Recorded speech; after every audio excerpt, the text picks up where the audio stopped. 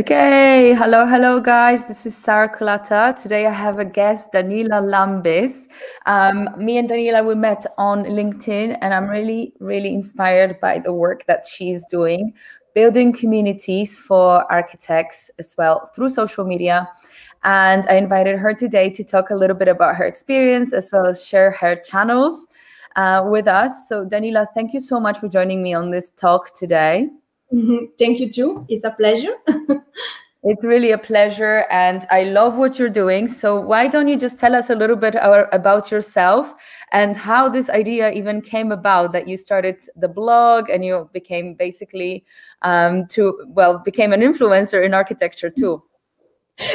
yeah, kind of. Um, hi to everyone it's a, as I say, it's a pleasure to to be here because I'm following Sara actually through her YouTube channel and Facebook group, and uh, I'm I'm an Italian architect based in Denmark. That's uh, my my story, and uh, yeah, I moved here uh, seven years ago in 2013, and uh, yeah, I'm working here as an architect. Excellent. So so that's great. And you're working for uh, a practice? Yeah, I'm working both for a practice, but also have my side uh, uh, business as a consultant. Uh, so if I have time, I would like to to have my own uh, stuff as well. That's amazing. Excellent. So, like I mentioned, guys, I uh, met Danila through social media, which is really a way for me to meet a lot of people that I invite for my podcast, which is amazing. And I know that just like me, Danila also shares her passion to um, essentially creating content for architects um, through her social media.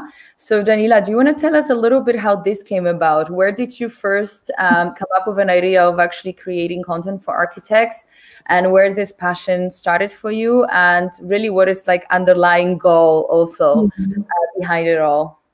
Yeah, I, I was trying to figure it out how actually did it started because it started really by chance, and also to be honest, from a personal need uh, because um, unfortunately COVID arrived uh, and uh, we were both all of all of us were inside our home alone, kind of, or you know, uh, totally outside from our normal daily job. Uh, so I felt.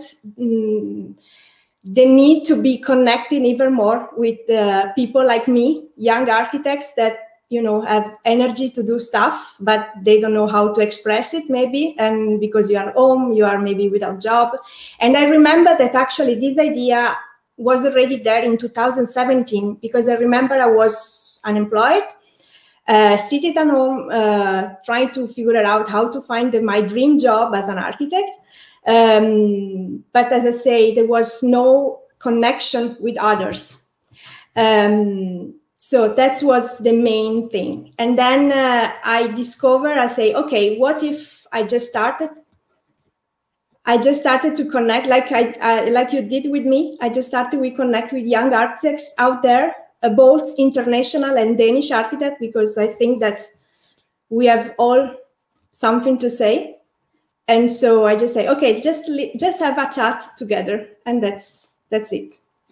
Excellent so how did um, how did the beginning start? Did you invite some architects, or who were your first guests? I um, I remember I started first the newsletter. I guess yeah, mm-hmm. I started first this newsletter, and uh, the the aim of the newsletter was again to to share as much as they can because if I met someone back in time um, that was willing to share with me uh, some you know uh, behind the scene uh, of being a young architect or starting your own practice or maybe just be you know an architect inside a firm uh, probably i felt less alone and less you know um, lost.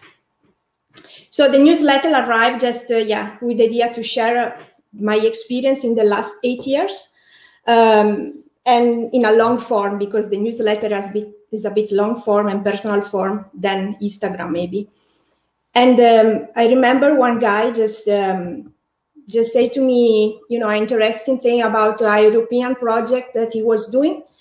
And I say, what about if you not jump into live Q&A, Q&A and that, let's share it and that's it and that's how it all started mm-hmm.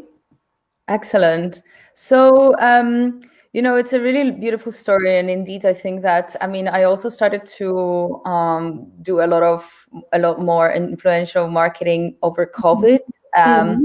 it was just a way to also like organize i guess this um, like kind of my timetable around it more and i found myself being able to do so much more of it as well and then i just um, yeah i started to publish.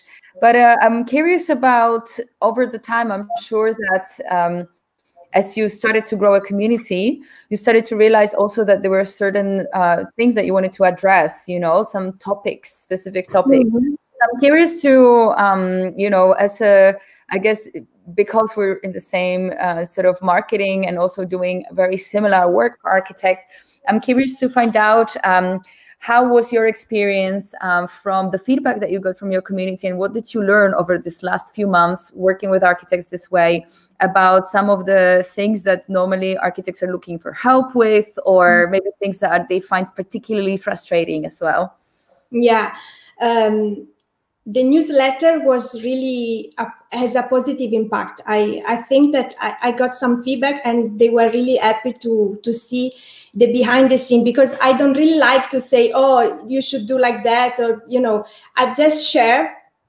basically mm-hmm. what I I've done and what did I mean what went wrong maybe on what should I do better uh, about uh, relationship with clients or how to start a proposal or even uh, you know just basic things that like uh, listen first and then yeah things that university don't pro- doesn't provide to you when you finished. So it i i felt that there is something that um, you learn just being in an office for a long time. And uh, i i thought okay can we can we make this this time shortened in the learning process maybe on the relation with clients or how to to approach them or how to approach a project in general? So why not give this value directly to young architects instead of waiting them to learn through a long learning process into offices. So that was the main thing. And um, yeah the feedback was really nice and they they contact me. They ask me oh danila how did you price that? How did you approach that? So i mean it was really nice feedback back. And the struggling are there. The struggling are how to price a project how to make um, the first meeting what to ask in the first meeting or yeah you know things that practical things that are basically related to business. yeah, exactly, exactly. And I strongly believe that online and the web is not anymore an option. I think that is a, is a must now. And uh, I I heard I listened a podcast that say that the word of mouth is is dead for architects and i think that is true in a way that the word of mouth needs to be adapted to the new tools Absolutely. Uh, so yeah that was yeah the main thing that was quite uh, good to you know to share yeah yeah and i think you know it's really incredible because at the beginning um, of this journey especially for me also you know i was still running my own practice in guatemala uh, my my charity called tribe lab when i came across this digital realm and mm-hmm. realized the great benefit of basically um, actually putting my message out there putting also some training out there uh, and and reaching out to a broader community. And at the beginning um, it was kind of i i love building with bamboo and earth and this is um, sort of my direction in architecture. And i definitely um, have been telling the story of for example the process of building and mm-hmm. workshops on building as well and those were the type of materials that I first started to post online. And it wasn't even through my personal Facebook, but it was more through my charity Facebook, Tribe Lab, and um, and also the Vimeo channel that we had mm-hmm. yeah. there.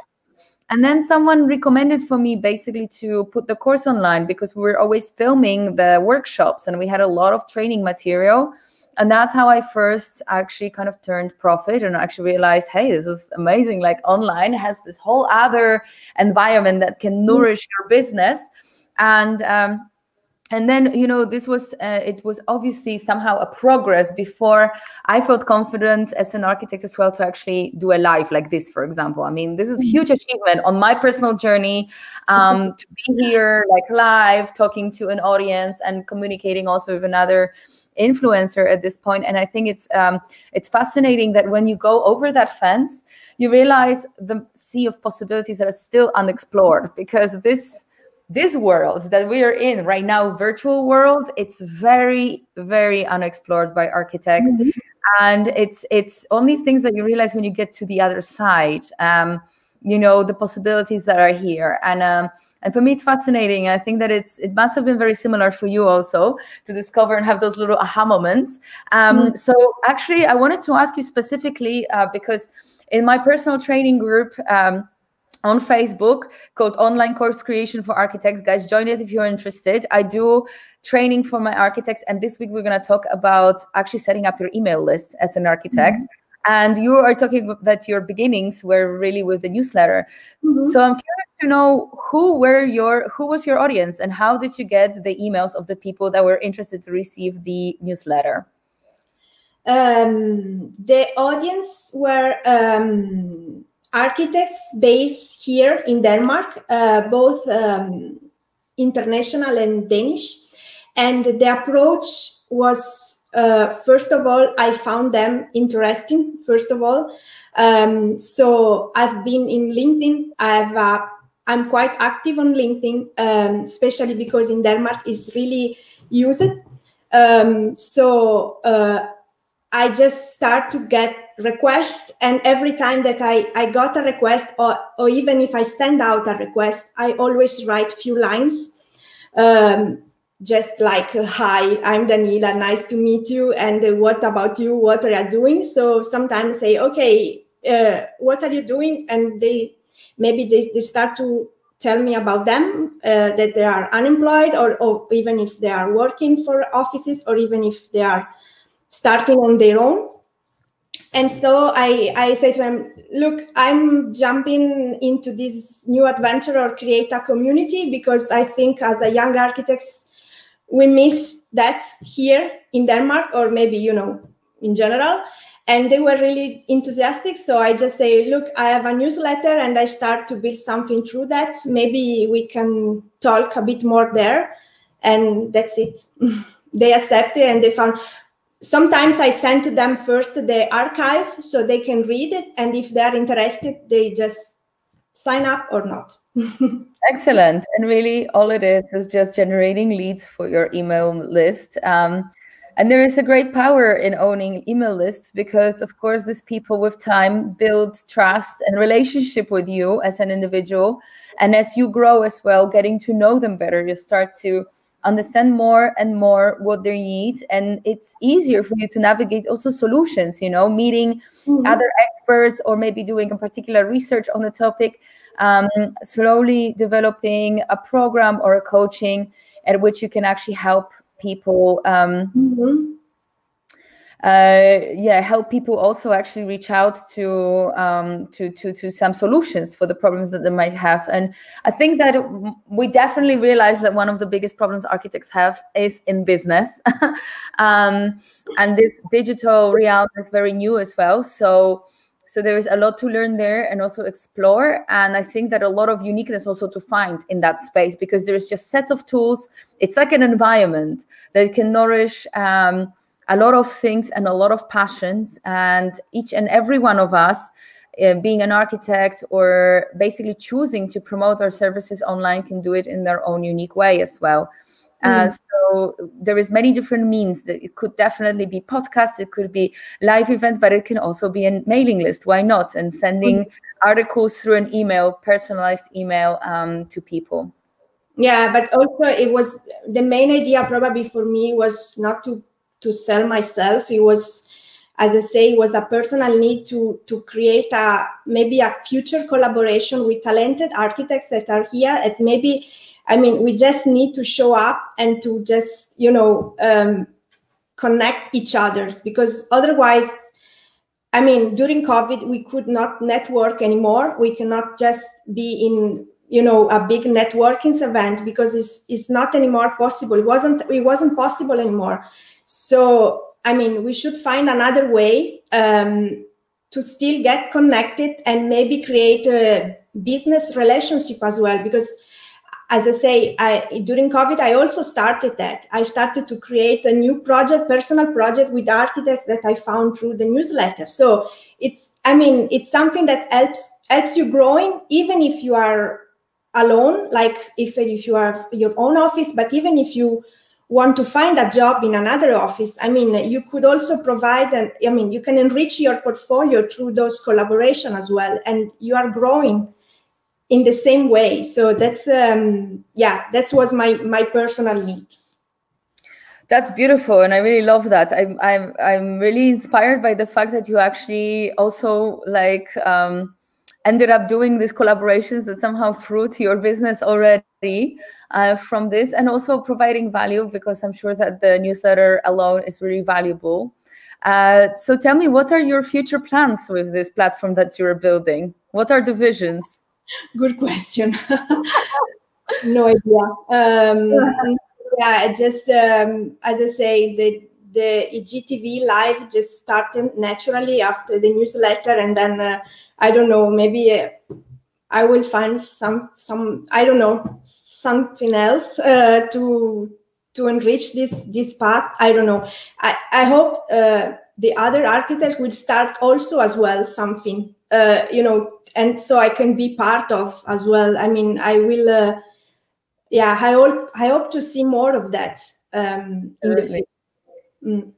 Yes, there is a need for that because there is not only a need for exchanging experiences and connecting, uh, but I think I think that we have a lot to learn from one another too. And uh, and of course, it's just a platform for inspiration. You know, uh, it's it's actually somehow beautiful that all of this is growing under your wings, and you still don't know where you want to go with it because it wasn't intended to be a new business idea, but you're utilizing very powerful tools for it. Um, mm-hmm that really bring a lot of possibilities. And I myself am living uh, example of it because since I started to publish, so many new connections and business came my, my way too. That basically, uh, since COVID, all my income is based online right now, um, and that also freed some of the things. Um, the way that I approach projects in architecture and what I choose to work with and who I choose to work with. Because, of course, as every architect, um, we always have a dream of how, in the perfect scenario, we would apply our talent and our creativity and how we would like to work. But we compromise. We compromise for money, we compromise for contact. And actually, uh, as soon as about two months ago, I released my compromises. I thought, I'm not going to do this anymore and mm-hmm. uh, that really freed uh, a lot of time i focused so much more on delivering my online product because i do have an online business and it's my my coaching program helping architects teach online and create online presence online businesses but um, this is not the only thing i'm doing. And uh, and I actually it's really liberating to see how much you can leverage your own time and freedom actually from it too. Um, and and the connections are remarkable because the opportunities that come from it are something that you cannot pre-plan for yourself. It's not like you put it on your on your wall and say hey this is you know something i want. It comes and you're like oh this is a great opportunity. I want i want this in my life. Exactly. And i think also that sometimes we jump into uh, looking for jobs after university or even starting our own without knowing ourselves.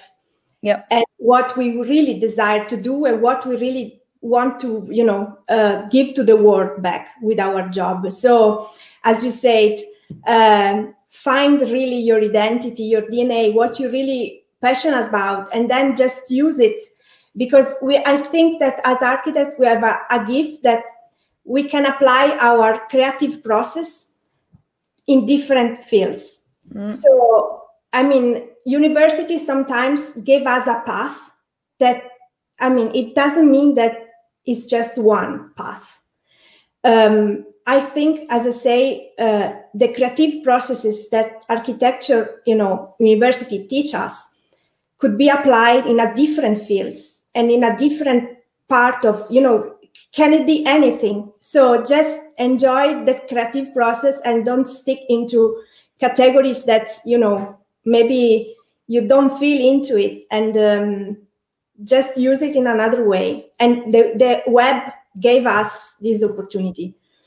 Absolutely. It's so true. And i think that it's also a really good tool to somehow wander around and find yourself through because you are exposed to a lot of different um, positive feedback actually and mm-hmm. influence and i find myself even though i have uh, a business that i'm running i find myself having conversations especially after these lives too um, with architects when we stay on and and talk just privately and it's really interesting some of the feedback i hear you know it's extremely yeah. powerful extremely powerful and i feel i'm privately coached by or somehow you know influenced by mm-hmm. thoughts of really remarkable people you know and uh, i don't think i would ever have that. And uh, you know today i'm 33 i'm in a bit of a different stage in my career and life too. But if i had access to this remarkable opportunity when i was young exactly. so mm-hmm. i can imagine it would have an enormous effect on the way i led my career. And um and you know it's never too late. It's really just like when you look at all those online uh, businesses that kind of completely took some of the things out of business you know? Like netflix for example took out blockbusters. I don't know if you guys still remember blockbusters. It's almost funny to, it's almost funny to think that we used to go to a physical location to rent dvds so we can watch a movie with a family. Um, and now it's just like literally a click away and you have a whole library. Yeah. Like the the comparison of the possibility and how far the internet took a business like that, um, cutting costs, cutting speed of delivery, bringing in so many choices, opportunities, selection, variety. Um, I mean, it, it's just incomparable. And I think think about the fact that as architects we do our business very much in this kind of old school way you know like renting a physical location an office delivering yeah. everything very much like exchanging our time for money and like whole mentality of how we deliver projects as architects is very very analog and imagine yeah. that could be just one tool or one thing that could move digital and get automated mm-hmm. um, that can completely change the way you do business basically and your earnings also it can completely transform. And there is just a great potential that is unexplored. And uh, you know and connecting online with other people opening up and also learning about those things is something really great. And i think this is both of us we're here for that right? To um to tell you, yeah. you guys and motivate you to, to, to give it a try. Um and also to open up to the opportunities that come from it because really the moment you uh, start being present online you attract people and you start getting messages and communication um, with people that really hold an incredible gift as well you know? but also in, in general also clients potential clients. I mean is that a, a huge opportunity i mean the, the, the web is really democratic i think. Um, you can have your own space and if you if you work hard and you deliver value of course it's not a selling you in a really old style way. It's not anymore uh, just advertising and that's it. Is to is to give value and give your time. Uh, and i mean if people see you few times more and more they trust you and if they trust you they will buy from you. It's just a simple i don't know probably it's basic psychology i don't know. Yeah. but uh, i mean it's just it's just human thing. I mean we, we don't like anymore the really cold selling process that is i mean we are not anymore in that period. So it's um it's a huge opportunity also to find your niche your clients your your dream clients as well because you will attract who uh, people that you i mean that feel close to your values to your you know expertise and so on. So yeah just uh, it's a huge potential. I agree. You know it's really uh, what you just said reminded me of this um, little anecdote that i heard from one of my business coaches in digital marketing about two years ago um, she said that basically when you are like building an audience and sort of interacting online with your client it's almost like you enter this phase of flirting and then almost like entering a relationship and then you somehow settle for something. It really is building that trust.